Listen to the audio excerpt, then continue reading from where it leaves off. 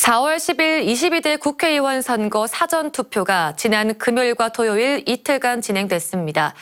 이 투표율은 역대 총선 최고치를 기록했는데요. 이 대구도 투표율이 오르긴 했습니다만 다른 시도와 비교해서는 가장 낮았습니다. 오늘 10일 본투표는 모두 유권자 심판에 참여하시길 바랍니다. 보도에 조재한 기자입니다. 사전투표 이틀째 사전투표소마다 소중한 한 표를 행사하는 발길이 종일 이어졌습니다.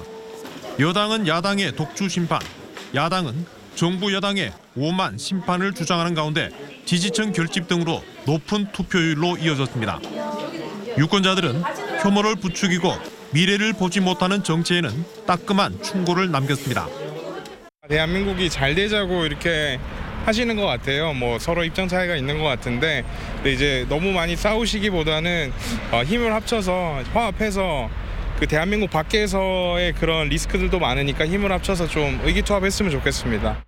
정당끼리의 싸움보다는 우리 앞으로 미래를 위해서 나아가는데 좀 혁신적인 예, 그 좀 계획적인 그런 사고를 가지고 정치에 임했으면은 예, 바람입니다.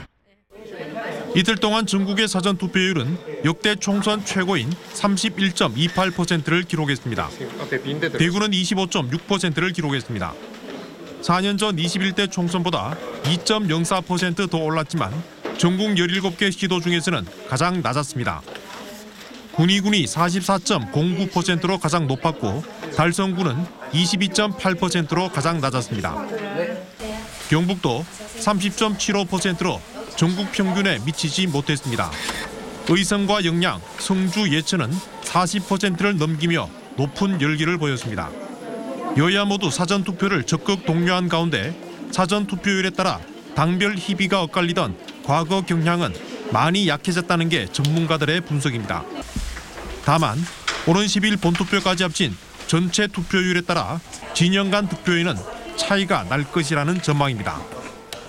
기존의 어른들께서는 항상 투표에 참여하셨잖아요. 근데 젊은 사람, 소위 MZ 세대들은 어, 투표 참여율이 그다지 높지 않았는데 그분들에 의해서 변동이 생기는 것이고 이분들이 결국에 투표장에 가시게 되면 특정 당이 유리하겠죠. 역대 최고의 사전 투표율을 기록하며 뜨거운 관심을 끌고 있는 제22대 국회의원 선거.